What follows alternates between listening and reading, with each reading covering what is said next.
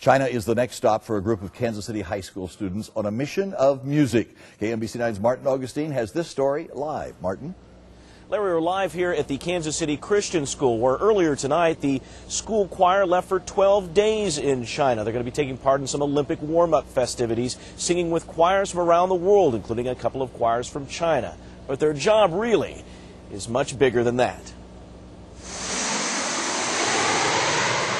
On a day when everyone's returning from their first holiday of the summer. I hope to learn a lot about the culture. I have no idea what to expect. I mean, Students of Kansas City Christian School, all clad in red t shirts, are leaving. I've always wanted to go to China. It's just one of those countries that I've always had an interest in. There, these students will sing in a pre Olympic festival and three other concerts. But the larger mission, once they get through the check in lines and fly off to the other side of the world, is to serve as ambassadors. Kansas lawmakers certified them as official ambassadors of Kansas for this journey to a country torn by an earthquake and political controversy. Our job as Christians is to is to serve. For David Lague, he wants the trip to open the hearts and minds of his friends. I'm hoping it makes it more real to me and to my uh, classmates and friends that um, we're not the only people here, but there's other people in this world that have lives and have families and have feelings. And if that lesson sinks in, this choir of the Kansas City Christian School will be students of Kansas City when they leave, but students of the world when they return.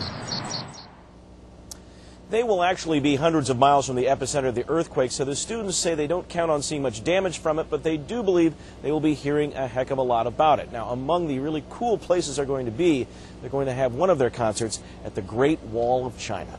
Reporting live, Prairie Village, Martin Augustine, KMBC 9 News. Thank you, Martin. What a wonderful trip. Well, 26 students and five adults are making this journey, made possible largely by corporate sponsorships and donations.